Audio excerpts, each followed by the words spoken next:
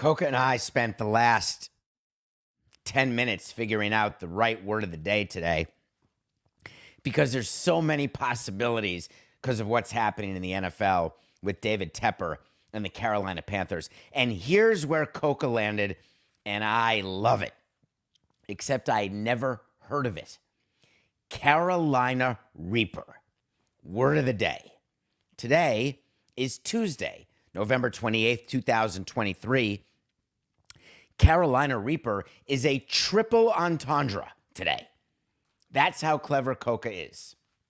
I wish that we had a camera on. Maybe we'll do that for our most loyal Nothing Personal fans is we'll let them into the live show a few minutes early one day and just see how we prep, what we're talking about, and then watch the final frenzy as we're tinkering with the potential word of the day. And then the way Coca gets inspired, I don't know if it's a Sharon Stone type muse or Albert Brooks or what he does, but every once in a while, and I don't mean rarely, I mean a couple times a week, he'll have this epiphany. And I like it because the night before, I'll send the word of the day or the afternoon before what I think the word of the day should be. And then he'll decide, no, maybe this topic or that topic, or how about this, how about that. I was ready to go at 756 with Panther as my word of the day, talking about the animal, the panther. And Coca said, no, no. How about David Tepper's Ring of Fire? Get it? Your hot sauce show? Hoop burn, rim burn, fire, pepper. Wait a minute. And then I'm watching his brain go. Carolina Reaper, which is the hottest of the hot peppers, which is what people are saying is what it is to be the coach of the Carolina Panthers. Yesterday's show, we covered the Carolina Panthers again. We thanked David Tepper for all of his content. We said he's probably not on the Mount Rushmore, but he's getting there. We examined Frank Reich's press conference, some of his quotes, and then we stopped at 8:45. And at 9:15, ding ding, that's my t- text alert. It's Coca. And Frank Reich was fired. Let me make sure that I understand how significant this is. Frank Reich was fired by the Colts about 380 days ago. He was then hired by the Carolina Panthers to take over that team in a very, very popular hiring. Very, very good head coach. Tepper said this is the start of a new era. My view is that all of the firings I've done, I found my guy. He gave him a long term deal, tens of millions of dollars. Then they lost a game, and then a game, and then a game, and then a game, and then a game. They're now one in 10 in Frank Reich's first season as coach. It's only been 11 games. Who would hire a manager to a long term deal and fire them in their first season? Who would ever do that? At least wait till after the first season. That's what I used to do. Sign a guy to a three year deal or a four year deal and then fire him after one season. It makes you look like you're incompetent, like a fool. On the other hand, you can say to yourself, hold on, I'm not doubling down on my mistakes. I'm going to take the bull by the horn and I'm going to admit to the world, to the detriment of my own Q rating, that my hiring was bad. I was always willing to do that. It was a trade that made sense to me. We told you what David Tepper's record is since he took over as owner in 2018, the number of coaches he's gone through. He is now going to hire his seventh head coach his seventh head coach. This makes my term with the Marlins look like the bastion of consistency. Let's dig a little deeper. What is it about the NFL versus MLB that would cause me to tell you that firing a head coach in football is a far bigger deal than firing a manager in baseball? And that is because it is my opinion that coaches in the NFL are more highly and directly correlated to winning in the NFL than managers are in baseball. It's not to say that managers aren't important. It's meant more to say that managers are more often scapegoats than they are reasons for winning. Now, of course, Bruce Bochy takes over Texas and Texas wins the World Series. Query could Ron Washington have been the manager of that team and won the World Series? Did Bruce Bochy do something in the clubhouse that made Garcia Garcia and Semien, Semien, et cetera, et cetera? I'm not sure. What I am sure about is that in the NFL, when you put your playbook together, whether you're calling offense or not, whether you're calling the defense or not, the head coach is responsible for a script. And people joke about the NFL being scripted. It's not. But what is scripted are games and game plans. In baseball, we tell you we have a game plan, an approach against a certain pitcher. We're going to spit on the spin and we're going to sit on the speed. That can be an approach. Or we're going to go opposite field. We can have a hitting approach, we can have a pitching approach that we try to talk to our players about. In the NFL, it's highly different. Not only do you have an approach against a team, you have a scripted set of plays that you run to start a game. You have certain things that you've set up over the course of a season. Bill Belichick was famous for that, where he would have certain formations that he knew were going to be scouted by other teams. And he would go into that formation and then run a play, go into that formation, run a play, make it totally consistent and then week 16, go into that formation. The other team, rightfully so, expects there to be a certain play. And then boom, he runs a different play when he needs it, touchdown. He had Tom Brady, but touchdown, Super Bowl, etc. In baseball, we don't say, all right, we're going to pretend that we sit on the speed and spit on the spin. And then in the sixth inning, we're going to totally change our mind and that'll really throw them off. It just doesn't work that way.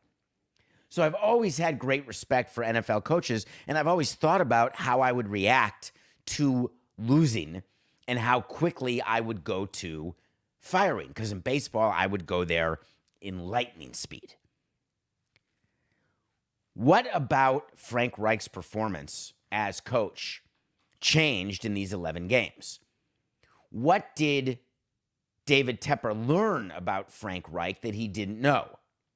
That can be something that happens when you hire somebody from another team and you don't know them to live with them. That's like trading for a player. Oh, I thought he was good in the clubhouse and turns out he's a total turd.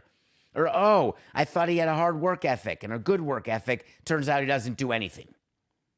Could that be the same with Frank Reich? or a head coach that you bring in, highly recommended, highly successful, and then wow, he doesn't sleep on his couch, or wow, he doesn't have a game plan, or wow, he doesn't command the clubhouse. I guess that's possible. But then did it only come to light because he's 1 in 10? At 10 and 1, all those issues go away because then you play the results. At 1 in 10, don't you play to what your plan was when you hired the coach? David Tepper gave a statement about this firing that was spectacular. And he signed it. So let me give David some credit because sometimes it comes out through the spokesperson. We've seen that. Sometimes it comes out through the president, through the GM. Sometimes just from the team unsigned. His statement was signed by David Tepper. And it said, I met with Coach Reich this morning and informed him that he will not continue as head coach of the Carolina Panthers. I wonder how that meeting went. My firing meetings are pretty quick.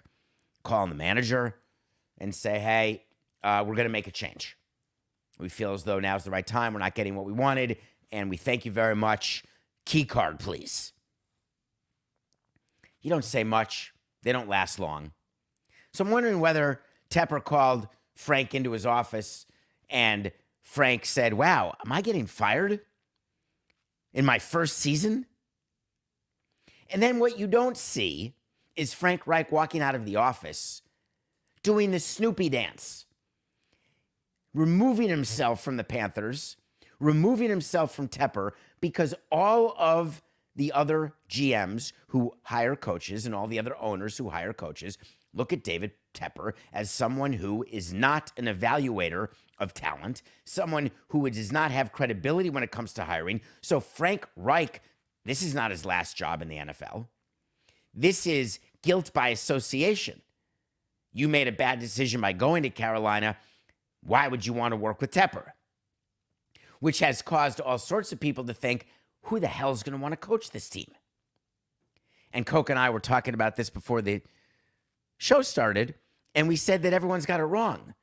Every single person in the NFL or college, any coordinator, any head coach in college, frankly, 20 of the 32 head coaches in the NFL, they want to work for Carolina. Because what Tepper is proving is that he'll hire you, pay you tens of millions of dollars, and then fire you, and you get paid not to work. You may have to mitigate, you may have to arbitrate, but you're getting paid. So David Tepper informed Coach Reich that he will not continue as head coach. Here's where the statement lost me. Second sentence. What would be the second sentence when you fire your coach after 11 games in his first season and all you do is fire coaches? And you start with, I met with him and informed him he would not continue as head coach. What would be your perfect second sentence? I have one. I take full responsibility for our failures on the field. I take full responsibility for my inability to hire a head coach. I am getting back to work right now, and I promise the fans of Carolina that I will be better. How about some accountability? Here was his second sentence I want to thank Frank for his dedication and service, and we wish him well. What? Who wrote this statement? That's where you go to? What dedication and service are you talking about? The 11 games? I feel like maybe that's something that you say when you've coached for four years out of a five year deal, or four years out of a six year deal, or two years out of a three year deal. One year out of a four year deal? Frank didn't even get that. He got 11 games. There are 17 games. 11 out of 17. That's all he did. That's barely more than half of one season. Dedication and service. What, he show up to work every day? Way to go. And then he went to effective immediately. Thank God. I'm not sure why you put that in, in any statement. When you fire somebody, somebody's replacing that person. There's going to be a head coach. It's like when when a pitcher gets injured and we'd be asked, um, who's going to be in your rotation now that this guy's out of your rotation? And our, our PR people would say to me, just don't say effective immediately, this guy's going to start or this guy's going to play. Somebody's got to start, somebody's got to coach, but it's in the statement anyway effective immediately. Special teams coordinator Chris Tabor will serve as our interim head coach. Hmm interim head coach. That means that he's got seven games. That's it. Well, 11, 17, six games.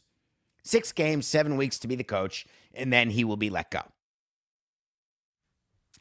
What struck me, in addition, in this whole scenario, is that this interim seven game, eight week coach, the special teams coordinator, upon being named interim coach, fired two of the coaches who were working under Frank.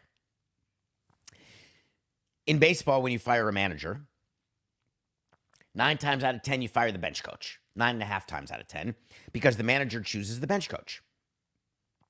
Sometimes the bench coach will stay, sometimes. Like Joey Espada survived some managerial changes in Houston, but he may not have been the bench coach the whole time, except under Baker. But in any case, he's now the manager of the Astros. But my point is, generally, you give the manager that one. You don't give him pitching coach or hitting coach. You don't give him third base coach. We made that mistake and gave Girardi the outfield coach, the infield coach, the bullpen coach, the catching coach. We gave his son a bottle. I mean, it was just insane. But generally, you don't do that. Bench coach, no problem. Do you know when we, side note, Coca, we hired Dan Jennings, that crazy thing we did when we made our GM the manager, and we let him choose his bench coach. Yes, we did. And I'd never met him, never heard of him. But Dan said, if I'm going to manage, I need this guy as my bench coach. And our view was, all right, you can have him. But for an interim coach to go ahead and fire two people off the staff, which he did, and they made very clear in their statement that it was not David Tepper doing this, it was the interim head coach. They got rid of their running backs coach and their quarterbacks coach.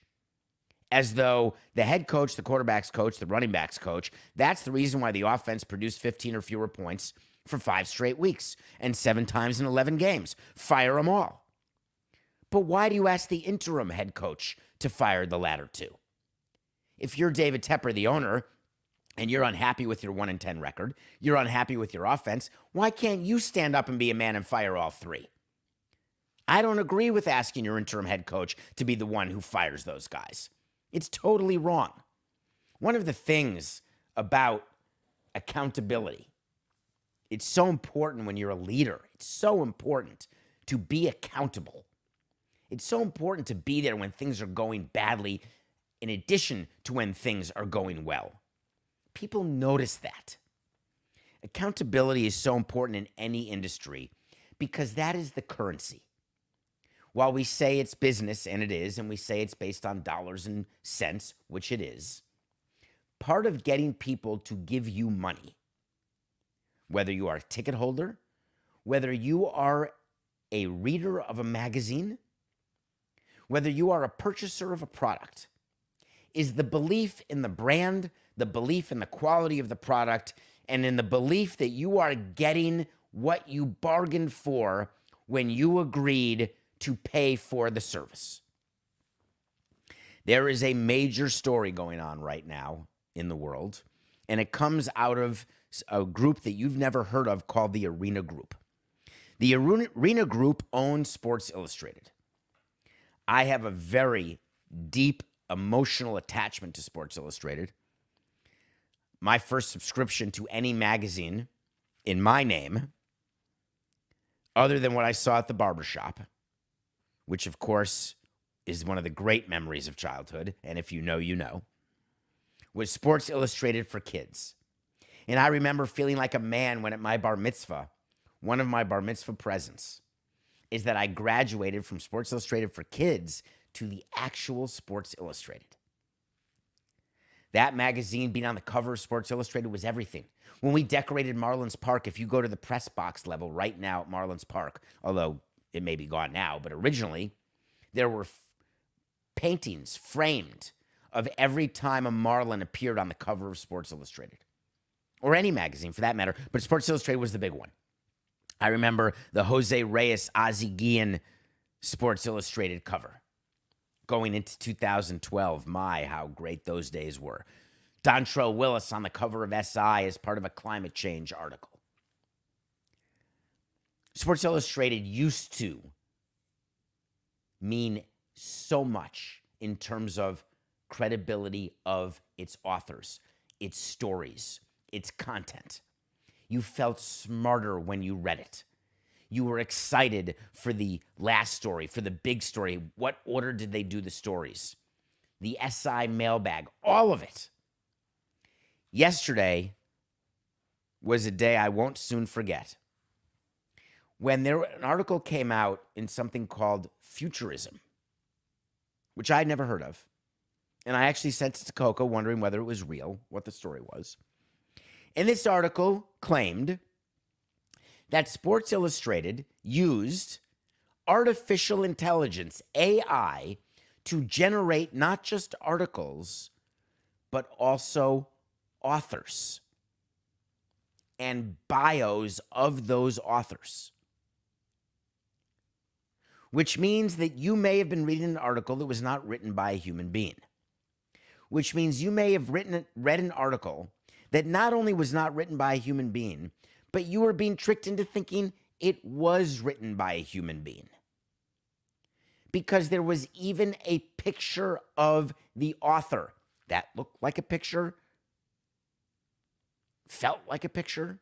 You'd have no reason to think it was anything other than a picture. There's even a bio. The man writing this article about outdoor sports and fishing has been an avid fisherman for 10 years and has written articles for 20 years on the subject. There's a comfort of knowing that. Why do you think when you read a book, everyone looks at about the author? other titles by this author. You build up brand equity. Sports Illustrated spent decades building up brand equity, and it got flushed down the toilet yesterday, which meant once the article came out, I knew exactly what was happening, and so did you. As a nothing personal aficionado, you knew what was happening. Who do you think was the first call? The Arena Group executives called their crisis PR team and they said, This story has legs. We have to respond. And so they did. And they responded with something very bizarre, to say the least. And I want to go through it with you, if you don't mind. I'm getting it right here, Coco. The actual response.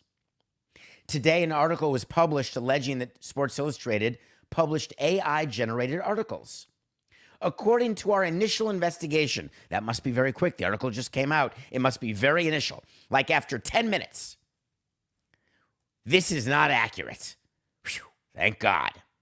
That was a big investigation by Samson and Coca Law. Thank God it's not accurate. But then they told you why. And this is when you have a problem when you make an announcement after only an initial investigation. You open yourself up to the very real possibility that you haven't done the full investigation, and there may be some stuff going on that you knew about, but you're pretending to cover up, or that you didn't know about it, which is even worse. The articles in question were product reviews and were licensed content from an external third party company Advon Commerce. Ding, ding, ding. You think Advon Commerce is not on the phone with its PR people? A number of Advon's e commerce articles ran on certain arena websites. That's the group that owns SI. We continually monitor our partners, and we're in the midst of a review when these allegations were raised. It's always funny, isn't it? When something goes wrong in your company and it's brought to your attention, you say, oh, oh no, we knew that. We were investigating it. We were looking into it. We just weren't ready with what was going on, so we didn't say that we were investigating it.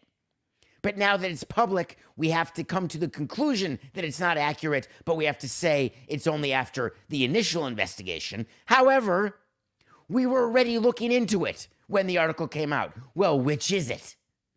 I guess the PR people were too busy getting it out quickly that they didn't realize that those two things likely can't exist in the same multiverse. Advon has assured us that all of the articles in question were written and edited by humans. It's human beings, but I digress.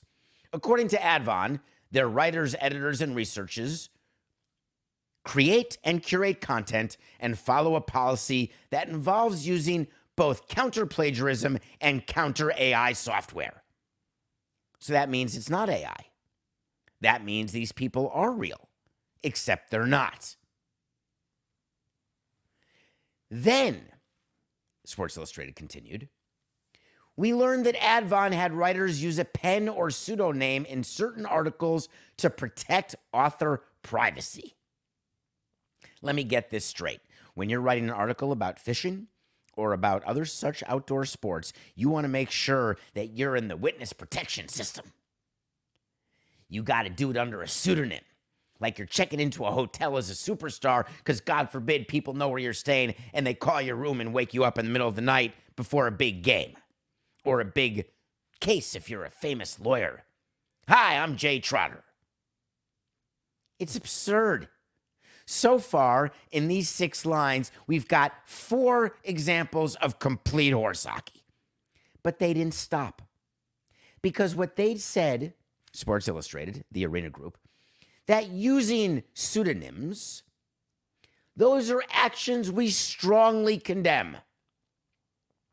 And we are removing the content while our internal investigation continues and have ended the partnership. Hell yeah. So let me get this straight.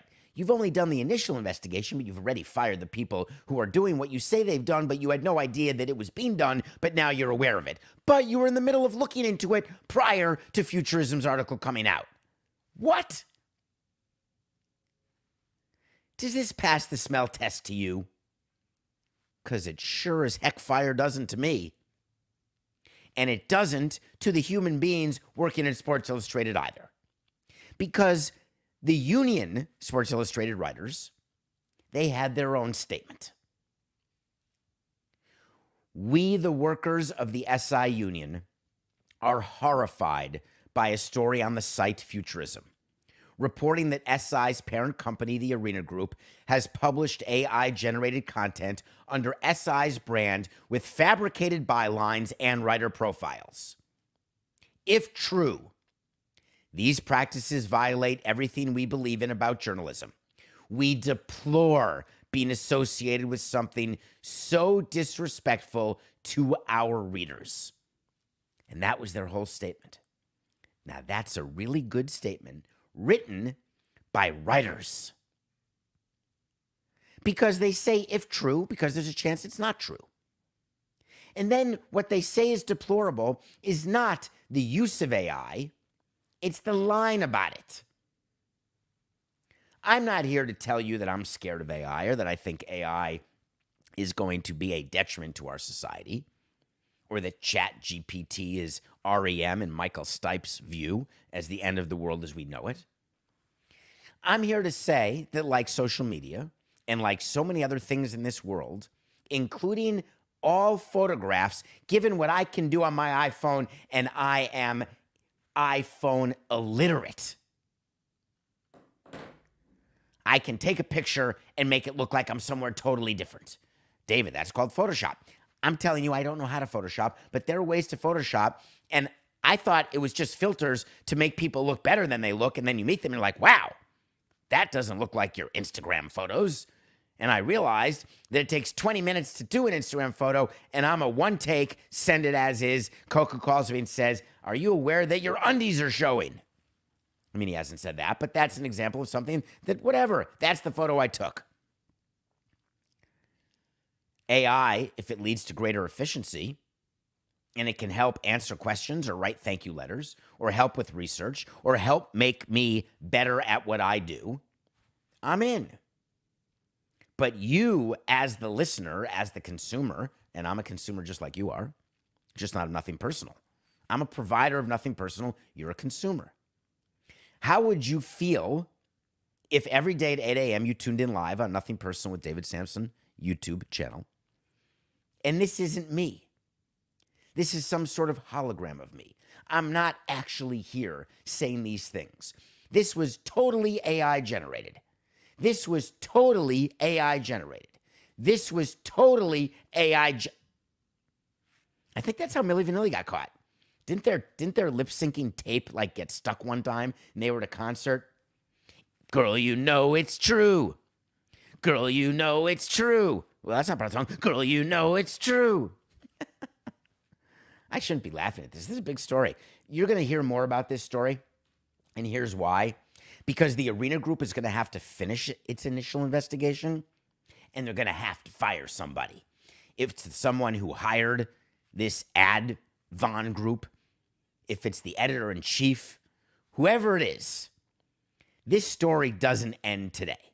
The union doesn't just have this statement. The entire writing community, the entire magazine purchasing, article reading world does not just let this go because this is an inflection point. We need to know as readers what are we reading? Go back to the SAG AFTRA strike which is being voted on next week, whether or not the strike will end and they'll accept the new terms. The writer's strike that ended and was and and that was voted, the new CBA is done. One of the big issues was AI.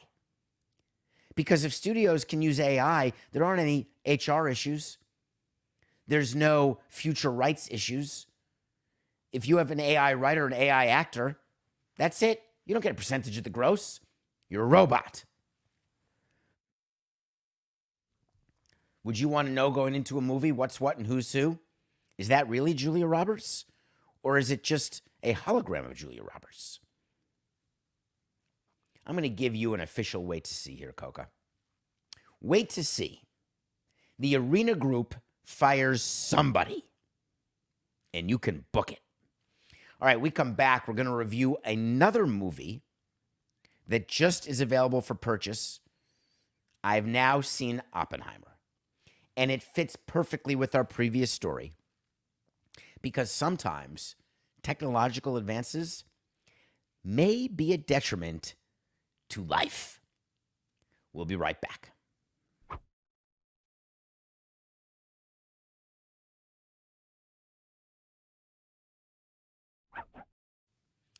Welcome back to Nothing Personal. It's David Samson on Tuesday morning, coming to you live.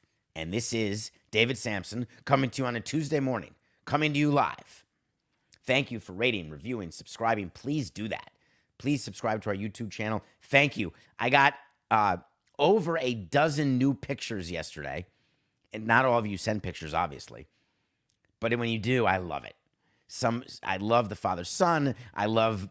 I, I got a honeymoon picture, Coca a guy and a, a, man and a woman on their honeymoon were wearing matching nothing personal stuff. So thank you for that. All right, I saw Oppenheimer. And uh, oh, by the way, I may have uh, told you yesterday that I will not be live tomorrow morning, but I was incorrect. I will be live tomorrow morning because it's Wednesday. I'm live Wednesday, 8 a.m. Tune in. So Oppenheimer's now available I didn't see it in the theater. This is a double Christopher Nolan week. I just realized. I don't think I've done that before. I'm reviewing Christopher Nolan's new movie Oppenheimer today, and Thursday I'm reviewing movie number 73 or 71 of my top 100 where we review I'm going to start reviewing or this is my third week already where I randomly pick a movie for my top 100 and then review it and I watch it again. So I watched Inception since last Thursday again, and I'm reviewing that Thursday. And I watched Oppenheimer. It became available for purchase on your streaming service. And of course, it's going to be there come Academy Award nominations, come Academy Awards. So I needed to see it, wanted to see it. And here's where it gets dicey. Because part of our show is that I'm completely honest with you. I didn't know much about Oppenheimer before I watched the movie spent time researching or understanding what happened with the bomb, the Manhattan Project. I'd seen movies and I'd read articles. I'd never read a book about it. Didn't really talk about it much in history class that I can remember. I may have missed those classes or been watching Half Baked instead. And I didn't realize sort of the background of Oppenheimer. I didn't realize what happened to him while he was developing the bomb. I didn't realize what happened after he developed the bomb. I didn't realize what his point of view was and how it changed during the course of developing and then having Truman actually drop the bomb. Truman, played by Gary Oldman in this movie. The problem I had with Oppenheimer, and it's not Cillian Jacobs, Cillian Murphy, excuse me. Is it Cillian Murphy, Coca? Who's Cillian Jacobs? Oh, is she the star of Love, that TV show that I love? In any case, he was in Inception 2 and he's the star. He plays Oppenheimer. And Killian, excuse me, I said Cillian. Killian, thank you, Coca. I'm so sorry about names. It makes Coca crazy. I mean, we've been together f- since October of 19. This is episode 940. We're well over a thousand with sit downs and mailbags, etc. And we talk every day. I speak to him more than I speak to anyone in my life. And he can't understand what it is with me and names, and neither can I. I apologize, especially because I have such a thing about my own name and people who misspell it. Killian Murphy. The reason that I didn't love Oppenheimer the way I wanted to is A, the hype of Oppie and Barbie and people who watched the double feature. I liked Barbie more than Oppenheimer, by the way. I thought that Killian's performance was fantastic. There were times I couldn't understand what anyone was saying, and I should have put subtitles on, and I didn't. But I thought that it was too big a vanity project for Christopher Nolan. Like trying too hard to be Christopher Nolan. What makes Christopher Nolan one of the greatest filmmakers of my life is when he was just making great movies and he wasn't trying to be or beat Christopher Nolan of yesteryear. When you try to live up to who you are, what you are, what you've been, and what people expect, all of a sudden the quality can change because it's in your head. It's almost like playing not to get hurt, and that's how you get hurt. I feel like Christopher Nolan went too far in Oppenheimer unnecessarily. I found that it dragged. It's a three hour running time. I watched it in increments as though it were a limited series. I think I watched it over three sittings. I couldn't sit there for a full sitting, whereas Inception was like two and a half hours. I didn't move. I didn't look at my phone. We'll talk more about that on Thursday. So I guess what I would say to you is you have to see Oppenheimer because it's important to know about that part of our history that's 80 years old. It's important to understand what was going on, what the frame of reference was, the importance of what it means to drop an atomic bomb, what it is to develop an H bomb, what it is in a world, in a global economy that some people can say is hanging on by a thread.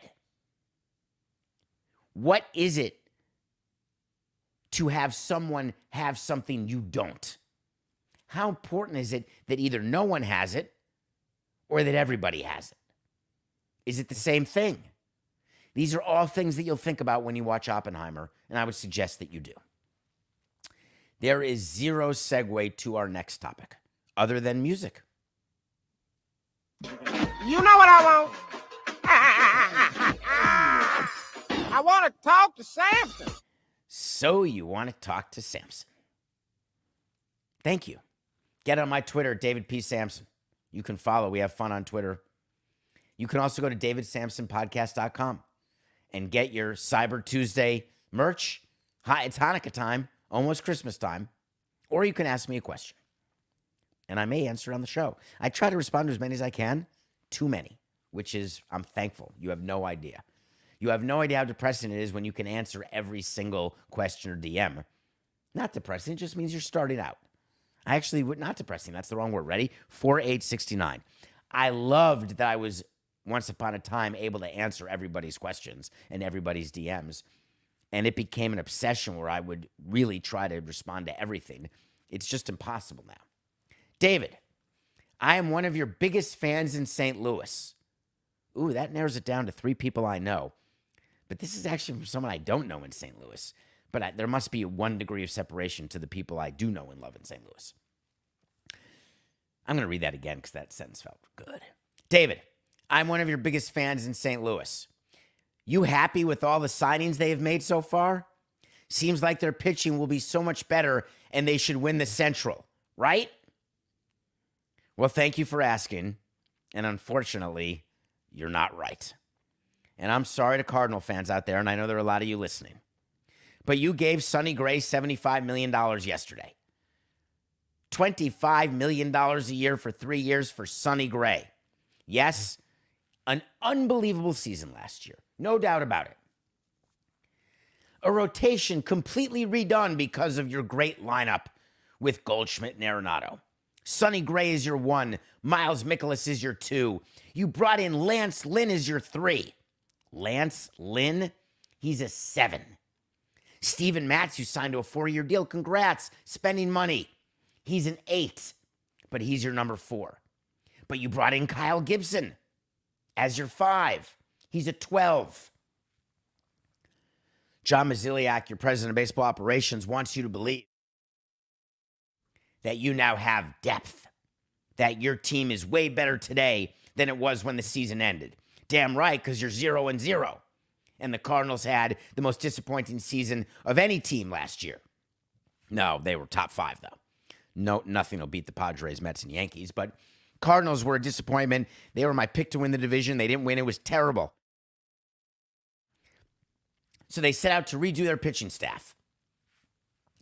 News alert you don't win with quantity you win with quality.